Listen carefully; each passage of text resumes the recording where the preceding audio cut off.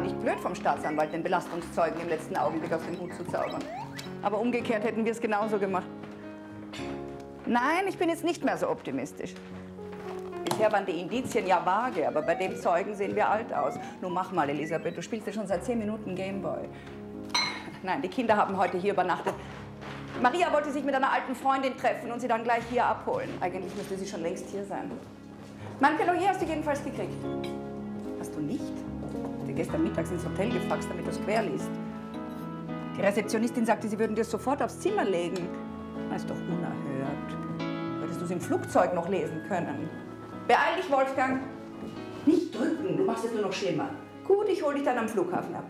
Wir haben da noch genügend Zeit bis zur Verhandlung. Gut, mein Schatz. Und guten Flug. ich dich auch. Bis dann.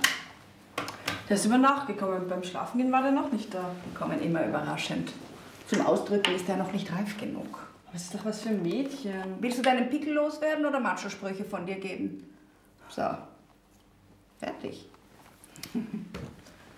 Hm, stimmt, sieht man wirklich nicht mehr. Kann man bei dem Preis der Creme auch erwarten. Komm, Frühstück ist fertig.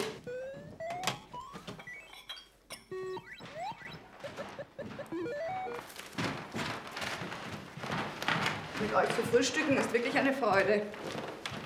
Macht ihr das bei eurer Mutter auch so?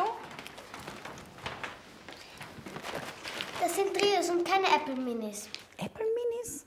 Als du das letzte Mal hier warst, wolltest du Trios. Ich habe sie extra besorgt. Jetzt mag ich aber nur mal Apple Minis. Jetzt isst du ein paar Löffelchen davon, Prinzessin, ja? Auf nüchternen Magen die Autofahrt und dann noch die Schule kommt ja wohl nicht in Frage. Und das Gleiche gilt für dich, Wolfgang. Ein bisschen Kommunikation am Frühstückstisch könnte auch nicht schaden. Du hast heute Schlusstag beim Bostraber-Prozess. Allerdings. War er's oder war es nicht? Das weiß ich nicht. Aber das musst du doch wissen, wenn du seine Verteidigerin bist. Nein, das muss ich nicht, Wolfgang. Ich muss nur wissen, ob man ihm die Tat beweisen kann. Und wenn nicht, dann ist er für mich unschuldig. Willst du ihn auch verteidigen, wenn du genau weißt, dass er es war? Das kommt auf die Umstände an. Auch wenn jemand eindeutig schuldig ist, hat er das Recht auf eine Verteidigung.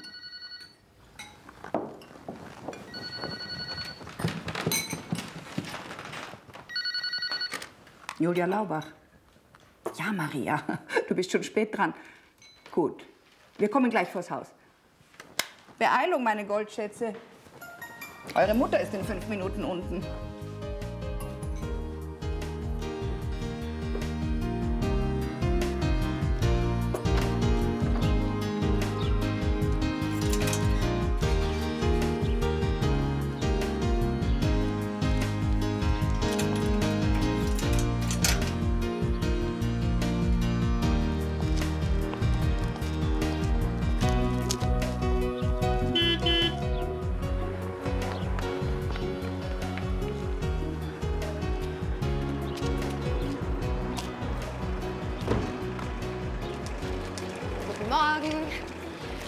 Bisschen spät dran, aber ihr wisst ja, der Morgenverkehr.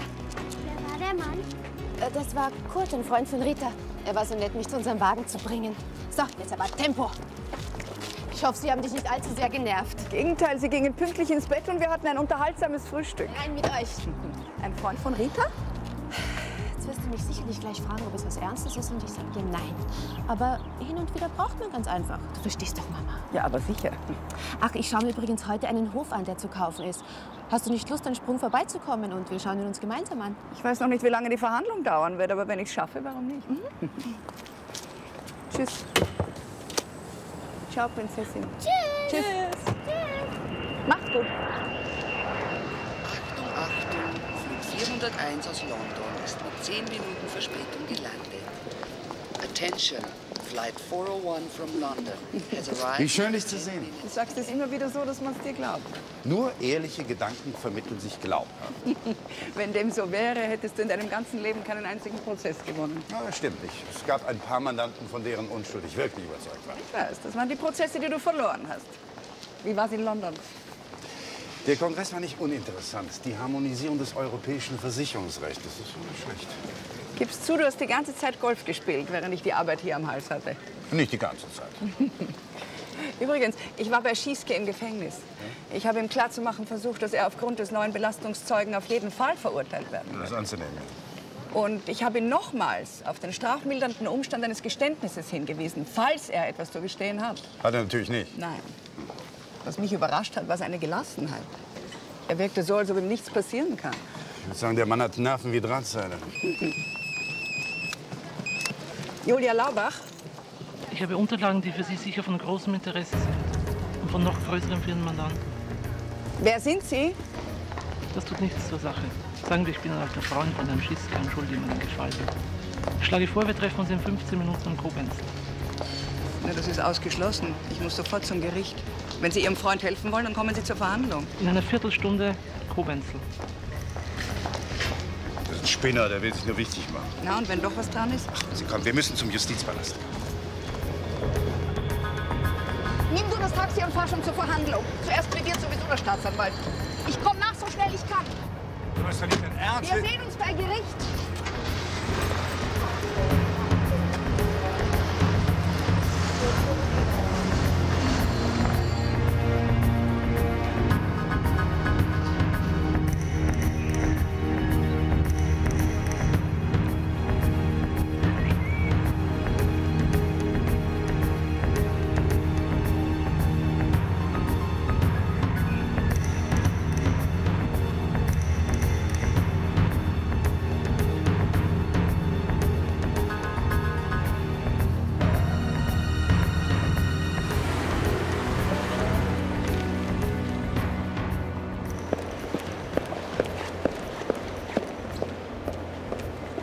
Dr. Laubach, Ja, die bin ich. ich habe hier für Sie ein paar interessante Neuigkeiten. Eine Rechnung? Was soll das? Lesen Sie doch mal, ob Ihnen diese Rechnung ausgestellt ist.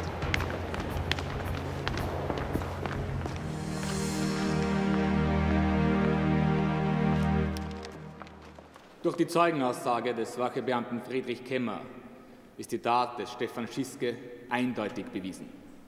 Die Staatsanwaltschaft plädiert auf schuldig und beantragt wegen erwiesenen schweren Raubes die Höchststrafe von 15 Jahren. Das Wort hat die Verteidigung. Bitte um Entschuldigung. Hohes Gericht, meine Damen und Herren Geschworenen, wie der Herr Staatsanwalt soeben ausführte, ist die Schuld meines Mandanten aufgrund des zweifelsfreien Wiedererkennens durch Herrn Kemmer eindeutig erwiesen und ich habe dem nichts mehr hinzuzufügen.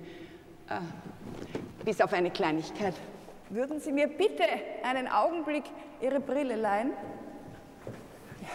Ja, ja gern. Danke. Bitte. Das ist eine sehr starke Brille. Ich nehme an, so um die 5 Dioptrien? Sechs, genau 6,2. Noch besser. Das Gericht kann dem Sinn Ihrer Ausführungen nicht ganz folgen, Frau Verteidigerin. Es ist ein Teil meines Plädoyers, Herr Vorsitzender. Gut, dann fahren Sie fort, aber kommen Sie zum Wesentlichen. Sehr gerne. Darf ich Sie um Ihre weitere Mithilfe bitten, Frau Geschworene? Natürlich, bitte. Ich möchte Ihre Brille noch einen Augenblick behalten. Ja, bitte. Können Sie mich jetzt erkennen? Ich sagte Ihnen ja schon, ich, ich bin stark kurzsichtig, Wie sehen Sie mein Gesicht? sehr undeutlich. Und wie sehe ich jetzt aus? Lache ich? Weine ich? Blicke ich wütend rein? Keine Ahnung. Und was habe ich jetzt getan? Ich weiß es nicht. Können Sie dem Gericht erklären, was dieses Theater soll, Frau Verteidigerin? Sofort, Herr Vorsitzender. Vielen Dank für Ihre Mithilfe, Frau Geschworene. Meine kleine Demonstration sollte veranschaulichen, dass eine Person, die an Kurzsichtigkeit im Bereich von sechs Dioptrien leidet, nicht in der Lage ist, auf zwei Meter Entfernung meinen Gesichtsausdruck zu erkennen. Ja, nicht einmal den roten Punkt, den ich mir auf die Stirne gemalt habe. Wir sind hier nicht in einer Vorlesung für Augenärzte. Wenn Sie nicht augenblicklich zur Sache kommen, entziehe ich Ihnen das Wort, Frau Verteidigerin. Der Zeuge der Anklage, der Wachebeamte Friedrich Kemmer, leidet ebenfalls unter starker Kurzsichtigkeit im Bereich von über sechs Dioptrien. Ich habe hier den Reparaturbeleg eines Optikerunternehmens und aus dem ist ersichtlich, dass Herr Kemmer am Vormittag des 27. März seine Brille zur Reparatur brachte, die ihm zwei Stunden zuvor auf den Boden gefallen und zerbrochen war. Und hier ist die eidesstattliche Erklärung eines Kollegen von Herrn Kemmer, eines Herrn Fritz Prohaska. Herr Prohaska hatte am Tag des Überfalls gemeinsam mit Herrn Kemmer Dienst. Der Zeuge Prohaska erklärt, dass Herr Kemmer schon vor Dienstbeginn über die Mängel seiner Ersatzbrille geklagt hat. Sie verursacht ihm Kopfschmerzen und er kann sie aus diesem Grunde nicht tragen. Laut Aussage Prohaskas trug Herr Kemmer zum Zeitpunkt des Überfalls mit absoluter Sicherheit keine Brille. Ihr Belastungszeuge, Herr Kollege, der meinen Mandanten angeblich zweifelsfrei wiedererkannt haben will, war zum Zeitpunkt des Überfalls blind wie eine Eule. Ruhe, Ruhe, Ruhe! Ruhe im Gerichtssaal, bitte. Danke. Hat er nun die 42 Millionen oder hat er sie nicht? Die Geschworenen sind der Auffassung, er hat sie nicht. Naja, das mit der Brille wird wohl auch einiges gekostet haben, nicht? Dann darfst du mich nicht fragen. Ich bin kein Optiker. Dankeschön. Kann Frau Dr. Laubach? Ja? Guten Tag, ich bin Elke Thorberg, ich bin Journalistin. Entschuldigen Sie, äh, wir geben zum heutigen Freispruch keine Kommentare. Unsere Kanzlei wird morgen gemeinsam mit unserer Mandanten eine Presseerklärung abgeben. Aber darum geht's mir gar nicht. Ich schreibe in der Sonntagsbeilage in der Tageszeitung eine Reihe über interessante Persönlichkeiten. Und ich habe zum Auftakt dieser Reihe an Sie gedacht. Wissen Sie, unser Berufsstand wirkt gerne im Hintergrund. Es macht sich gar nicht gut, wenn Anwälte mit ihren Privatgeschichten in der Öffentlichkeit erscheinen. Das ist aber sehr schade, weil ich glaube, unsere Leser wären sehr daran interessiert zu erfahren, wie denn die beiden Anwälte leben, die eben den größten Posträuber seit Ronald Bix befreit haben. Eine ganz wichtige Kleinigkeit, Frau. Äh, wie war der Name? Thorberg, Elke Thorberg. Frau Thorberg. Unser Mandant ist nicht der größte Posträuber seitRonald Bix. Das Gericht hat soeben befunden, dass er überhaupt kein Posträuber ist. Sie haben natürlich recht, aber er wurde in der letzten Zeit in den Medien so dargestellt. Das hat den Medien auch Dutzende von Entgegnungsklagen eingebracht, die unser Mandant allesamt gewonnen hat. Ja, guten Tag, Frau äh, Thorberg. Thorberg, ja. Maria möchte sich mit mir zusammen ein Haus ansehen. Hast du Lust mitzukommen? Danke. Gern, aber ich habe noch einen Termin in der Kanzlei. Der ist zwar nicht so wichtig, aber wie sagst du so schön, noch eine winzige Kleinigkeit. Dann nehme ich deinen Wagen, wenn du einverstanden bist. Soll ich dich in der Kanzlei absetzen? Nein, ich nehme ein Taxi.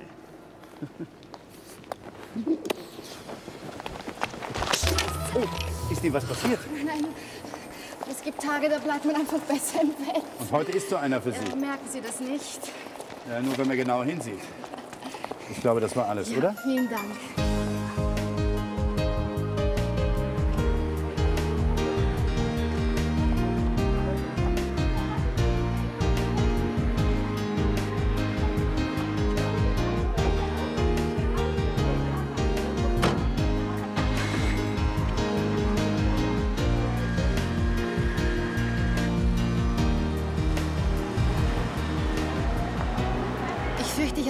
Etwas verärgert.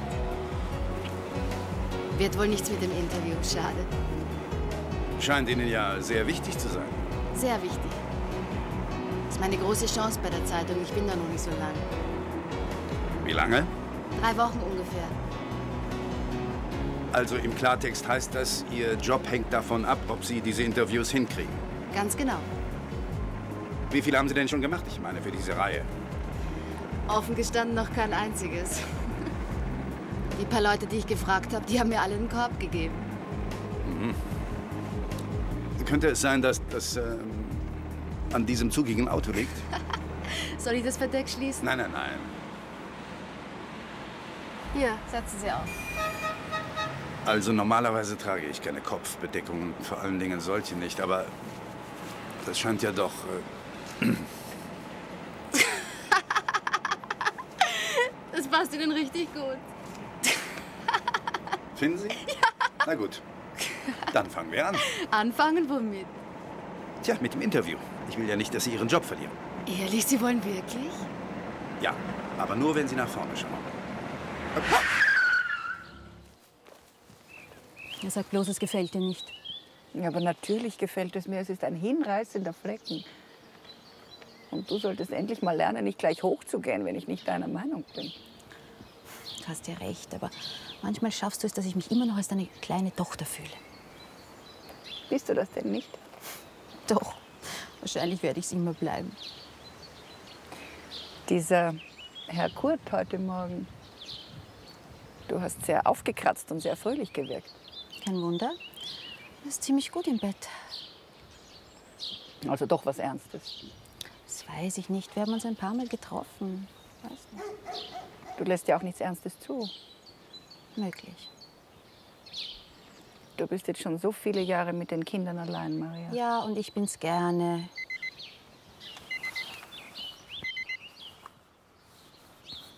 Hm, Das Krankenhaus, ich muss hin. Ich habe heute OP-Bereitschaft. Könntest du nachher die Kinder heimbringen? Ja, aber sicher. Herr Dr. Laubach, ähm, Sie und Ihre Frau, Sie gehören zu den prominentesten Anwälten dieser Stadt. Sehr schmeichelhaft, aber ein wenig übertrieben. Nun, äh, Ihre Bilanz erfolgreicher Strafverteidigungen in den letzten so Jahren. wird es besser. Wieso? Der Halt, wissen Sie, die Marmorplatte des Tisches schafft ein Echo. Äh, Wie war Ihre Frage? In den letzten Jahren haben Sie gemeinsam mit Ihrer Frau etliche sehr spektakuläre Prozesse gewonnen. Das ist richtig. Zu weich. Der Stoff ist zu weich. Nee, Da bräuchte man etwas anderes. Das ist, warten Sie. Ja, hier, das. So geht es. Ja, so geht es besser. Wie war die Frage? Entschuldigung. Ihre Prozesse, Sie haben die meisten Prozesse gewonnen. Ah Ja, das ist unser Job. Anwälte zahlt man nicht dafür, dass sie Prozesse verlieren. Das ist immer noch nicht ideal. Wir bräuchten. Also, Herr Dr. Laubach, wollen Sie mich auf den Arm nehmen? Wie kommen Sie denn darauf? Dann machen wir jetzt das Foto.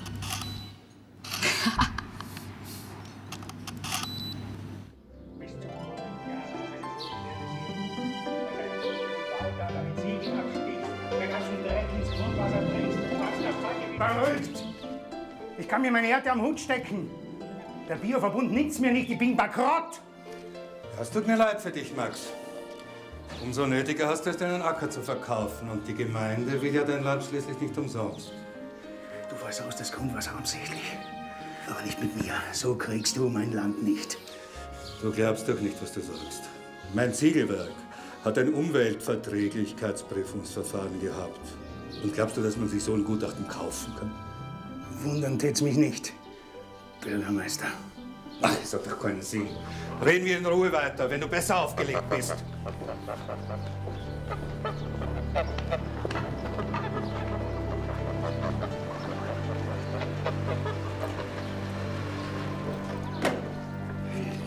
Servus, Max. Schaust du so grantig? Grüß dich, Julia. Na, der Reitinger geht mir auf die Nerven. Kannst du nicht grüßen, wenn wir Besuch haben? Grüß Gott, Frau Doktor. Schön, dass du wieder mal vorbeischaust. Die Mutter wird sich freuen. Okay, Na, Moment einmal. Eure Mutter hat was von Hausübungen gesagt. die machen wir später, versprochen.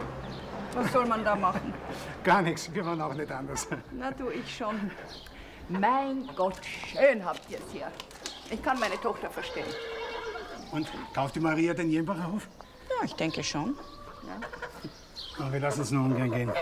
Aber verstehen kann ich Man will halt doch irgendwann mal was Eigenes. Komm, und jetzt erstmal was Anständiges. Komm rein. Herr Dr. Laubach, Sie sind ein ganz toller Mann.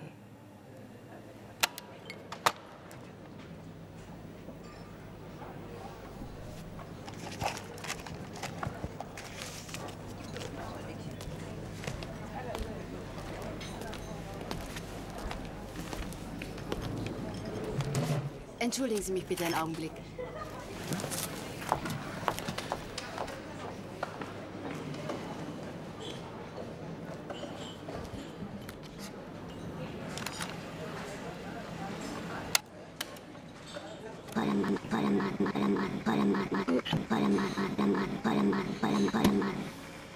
Herr Dr. Laubach, Sie sind ein ganz toller Mann.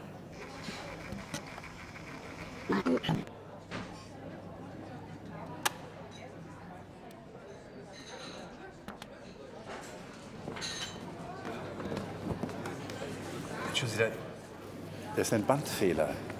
Zahlen bitte.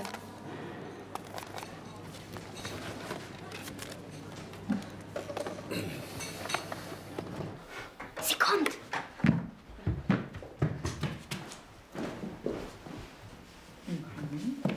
Ich habe eurer Mutter versprochen, euch rechtzeitig ins Bett zu schicken.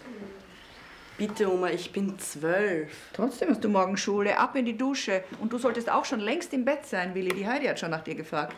Zeigst du mir morgen wieder was? Na klar doch.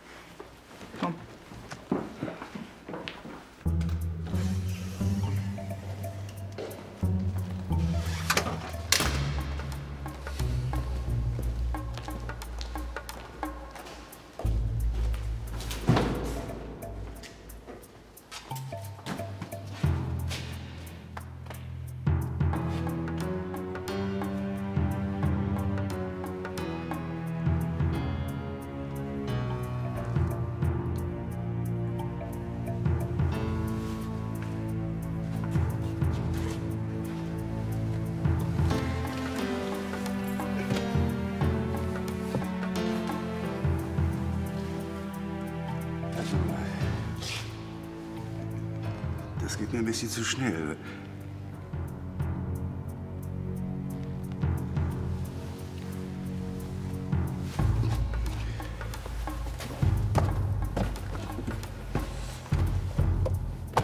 Hat sich nicht viel verändert in all den Jahren. Nein. Ihr habt's noch studiert, der Arthur und du, wie ihr damals zum ersten Mal bei uns auf Sommerfrische wart. Sommerfrische? Dein seliger Vater hat uns ganz ordentlich zum Arbeiten eingeteilt. Ich kann mich erinnern, dass ich manchmal zu Bett ging und dachte, ich stehe nie wieder auf. In der Früh hat man euch auch nie aus den Federn gekriegt, aber kein Wunder, so verliebt wie ihr damals wart. Also irgendwie sind wir es heute noch, Hertha. Na, ganz so stürmisch wird's doch wohl nicht mehr sein.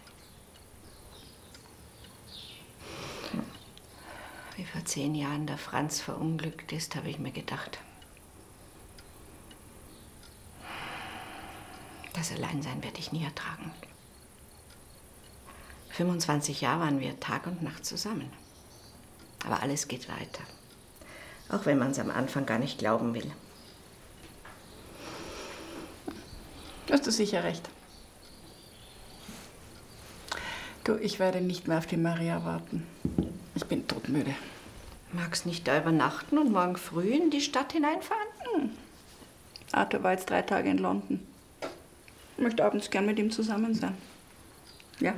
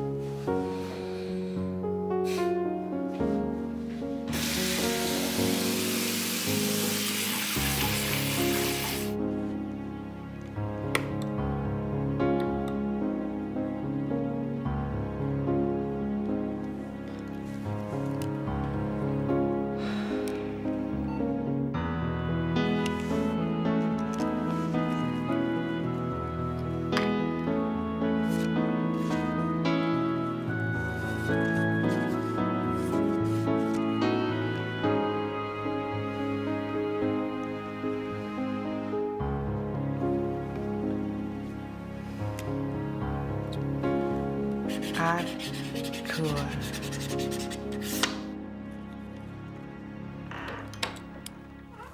Du kommst spät. Ich habe mich noch mit Hertha verplaudert. Maria hat Nachtdienst. Ja. Das war ein Tag. Ja.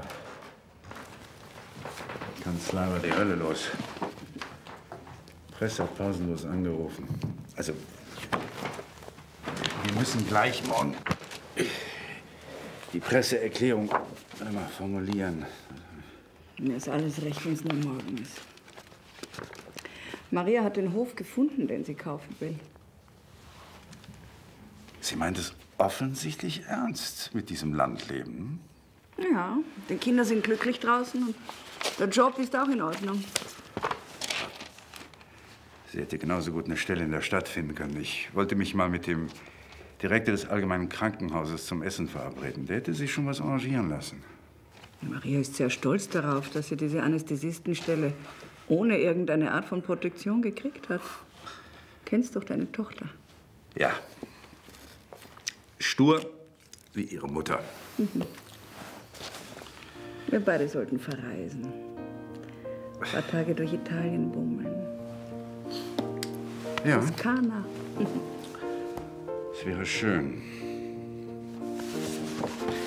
Ach, ich habe mich von dieser Journalistin breitschlagen lassen und ihr doch ein Interview gegeben. Welche Journalistin? Ja, die uns da vor dem Justizpalast angesprochen hat. Ach so, die, ja. Na, hat Spaß gemacht. Doch.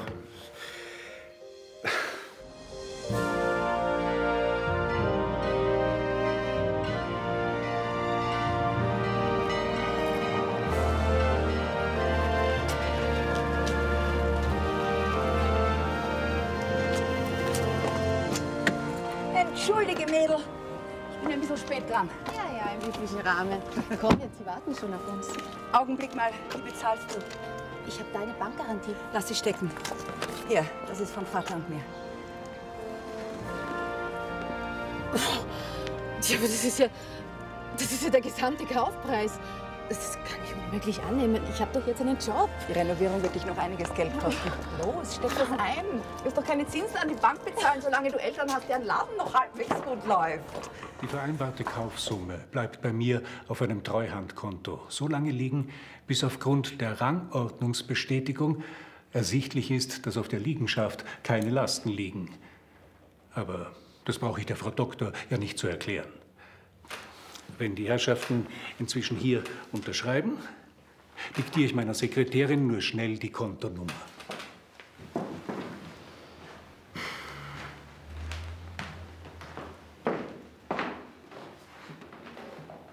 Moment. Da ist ein Tippfehler. Wo denn?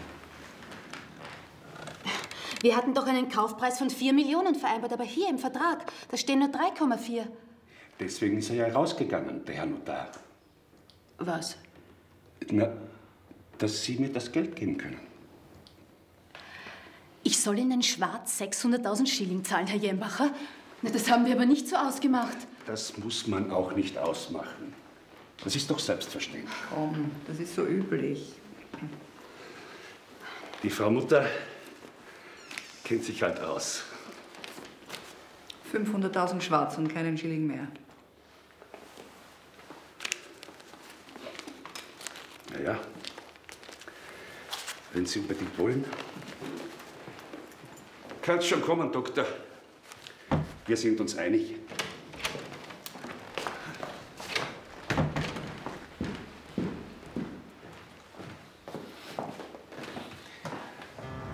Ich habe letzte Woche öfter an dich denken müssen. Ich auch.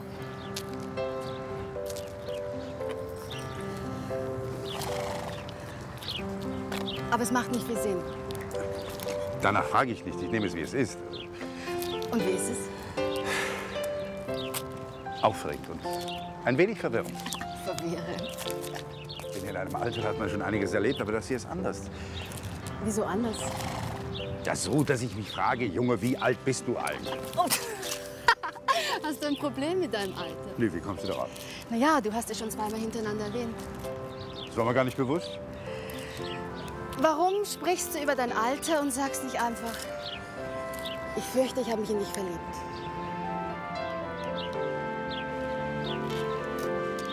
Was lässt dich denn das annehmen? Ich kann mir nicht vorstellen, dass es bei dir anders läuft als bei mir. Gib uns eine Chance ab. Ich denke Tag und Nacht an dich. In diesem bescheuerten Interview habe ich noch keine einzige Zeile getippt. Ich weiß auch gar nicht, wo ich anfangen soll. Ich habe mir immer geschworen, nie mit einem verheirateten Mann, aber natürlich prompt.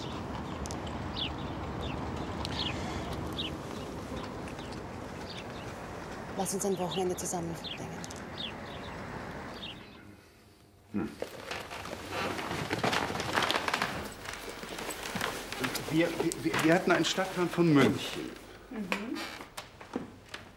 Na, da ist er doch. Vor deiner Nase. Danke. Manchmal ist man wirklich blind. Sag mal, warum fliegst du eigentlich nicht? Ich habe noch einige Telefonate anstehen, die kann ich im Wagen sehr gut erledigen. Eigentlich hält sich meine Lust, dahin zu fahren, in Grenzen. Bleib doch einfach hier. Es schadet sicher nicht, meine Kenntnis im deutschen Vertragsrecht wieder aufzupolieren. In Wahrheit willst du nur mit deinen Münchner Kollegen Golf spielen. Äh, äh, Golf spielen wir auch, aber äh, am Vormittag besuchen wir brav ein Seminar über deutsches Urheberrecht. Schade. Maria wollte übers Wochenende kommen. Sie hat den Kindern versprochen, in den Prater zu gehen. Und dann wollten wir ja noch ihren Hauskauf feiern. Also, wenn ich das vorher gewusst hätte, dann. Ja, das konntest du ja nicht.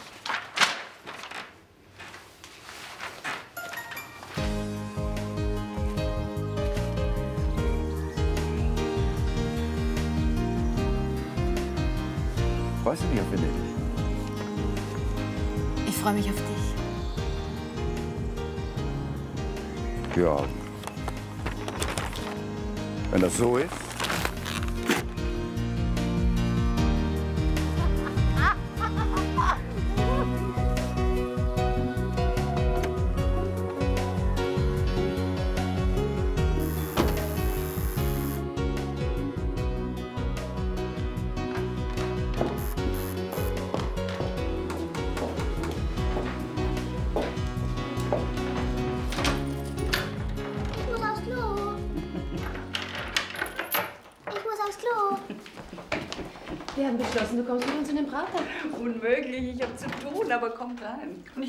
Durst. Na dann mach mal, du kennst dich ja aus. Ja, aber wir wollten doch heute gemeinsam Abendessen. Das habe ich auch nicht vergessen.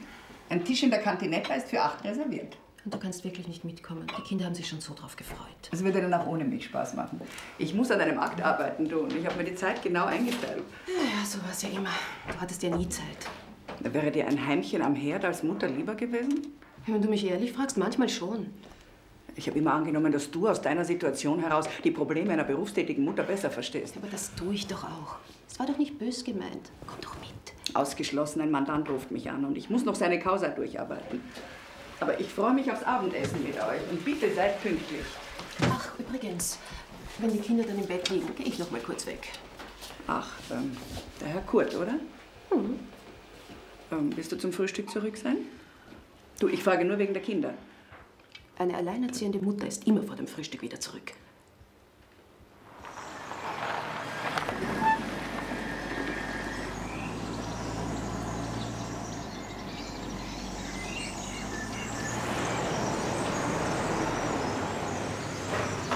Gott, ist es schön hier. Wir wollen mal sehen, ob noch was frei ist. Guten Tag. Schönen guten Tag. Die Herrschaften wünschen? Wenn Sie haben noch ein schönes Doppelzimmer, vielleicht mit einem Blick zum Park? Ähm, Herr Dr. Labach, Ja. Sie hatten uns vor 20 Jahren mit der gnädigen Frau beehrt. Das Fräulein Tochter war zu diesem Zeitpunkt noch etwas kleiner. Töchter werden eben etwas größer, so ist es eben.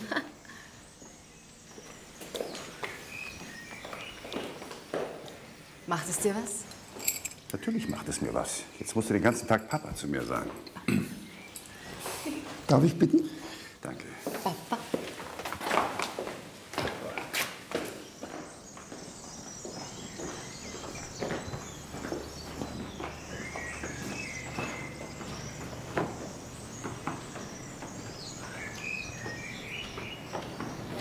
Komm, Papa, nicht so schnell. Morgen gibt es Hausarrest.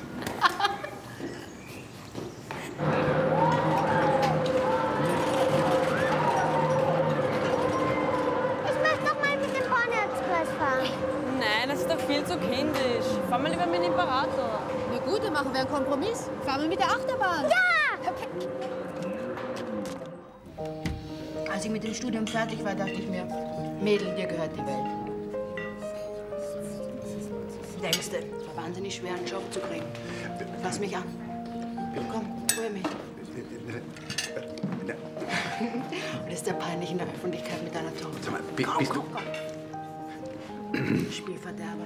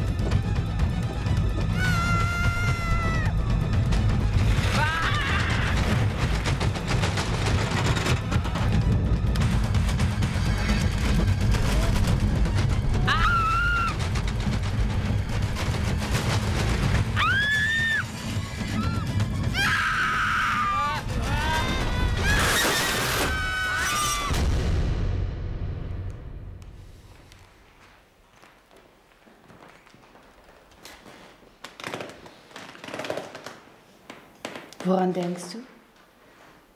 Soll ich dir ehrlich sagen? An meine Familie. An deine Frau? Ja. Hast du Schuldgefühle? Ach, weißt du, ich bin in einem Alter, wo Schuldgefühle das Lustempfinden nicht mehr steigern. Na, im Ernst. Irgendwann muss man dazu stehen. Also zu dem, was man tut.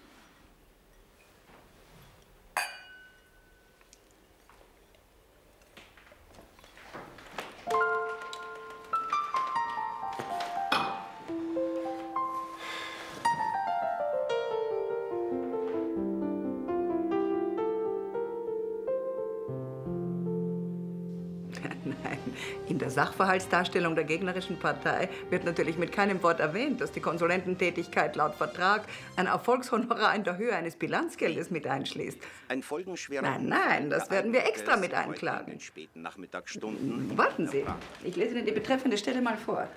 Auf einer Hochschaubahn nahe dem Riesenrad Punkt 2. brach bei einem vollbesetzten Das Ergebnis der ordentlichen Geschäftstätigkeit betrug für das Jahr 1997 circa österreichische Schillinge 4.500.000 im, Ver im Vergleich zum im Vergleich zum Vor Aus den Trümmern wurden sechs teilweise schwer Verletzte geborgen.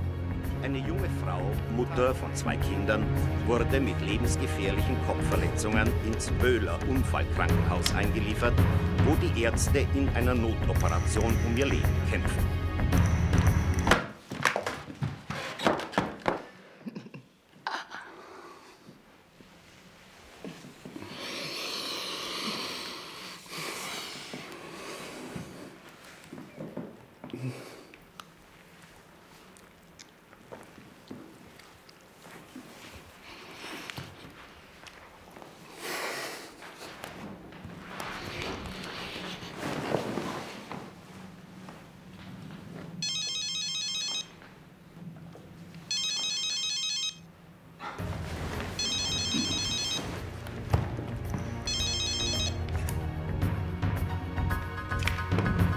Weiß, dass meine Familie verwickelt ist. Was heißt hier Datenschutz und Sie können mir keine Auskunft geben? Ich bin die Mutter. Entschuldigen Sie, das konnten wir nicht wissen. Dr. Romain, bitte. Die Operation wird noch einige Zeit dauern. Die Verletzungen Ihrer Tochter sind leider sehr schwer. Und wie schwer? Offene Brüche an Armen und Beinen. Weiters ein schweres Schädel-Hirntrauma als Folge eines Schädelbruchs. Und bitte wird meine wird- Entschuldigen Sie bitte, wird Maria durchkommen? Schwer zu sagen. Das hängt alles vom Verlauf der Operation ab.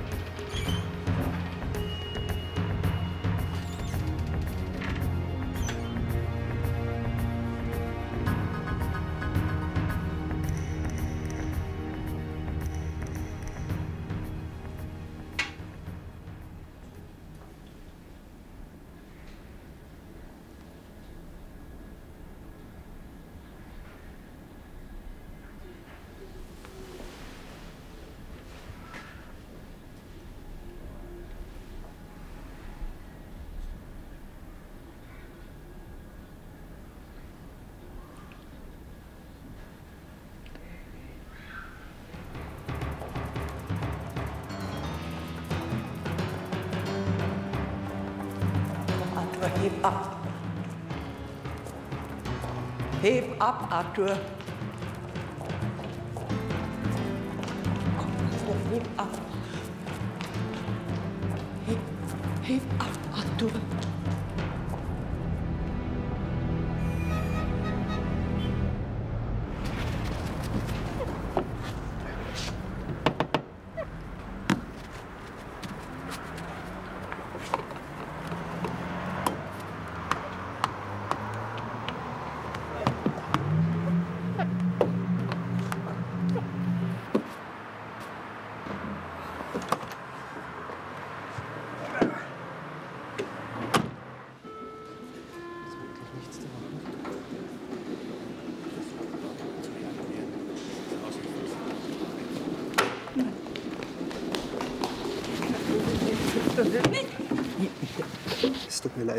Es war aussichtslos. Nein, bitte nicht. Bitte, äh, kann ich Sie bitte einen Augenblick sehen? Bitte.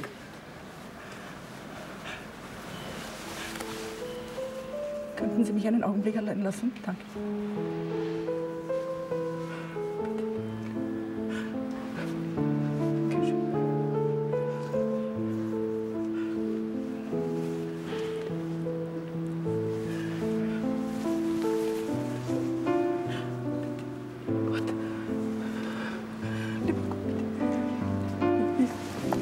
Ist Moment schlecht. Mir ist ein bisschen schlecht. Möchten Sie ein Beruhigungsmittel? Nein, bitte, ich möchte. Mir ist im Moment schlecht. Mir ist schlecht geworden, bitte.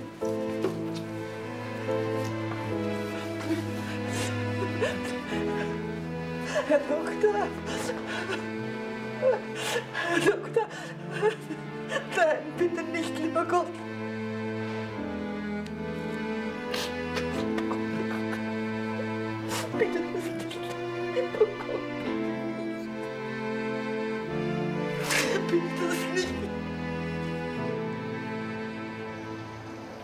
Rufst du mich an? Sicher.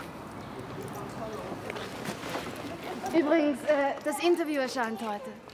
Ciao.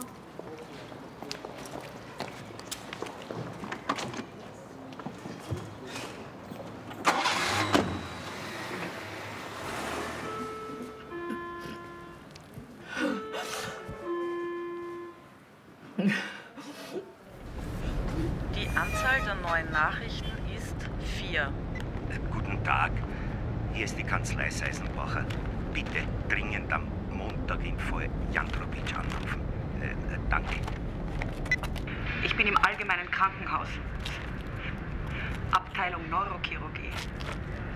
Und es ist etwas Furchtbares geschehen. Bitte heb ab. Komm, Arthur, heb ab, bitte.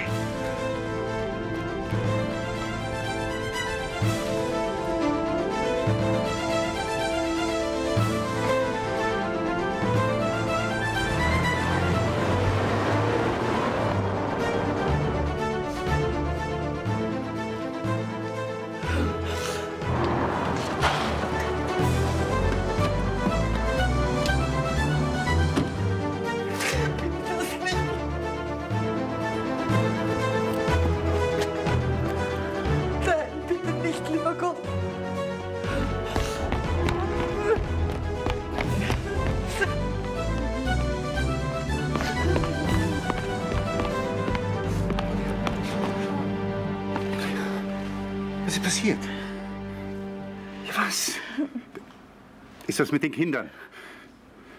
Die Kinder sind in Ordnung. Aber Es ist die Maria. was ist mit der Maria? Die Maria. Ja. Es ist die Maria. Es ist die Maria. Es ist die Maria. Nein. Es ist die Maria.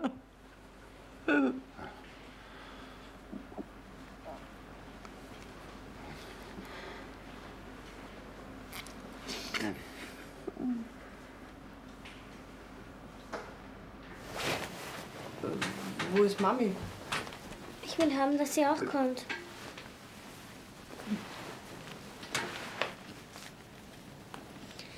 Wann kommt die Mami?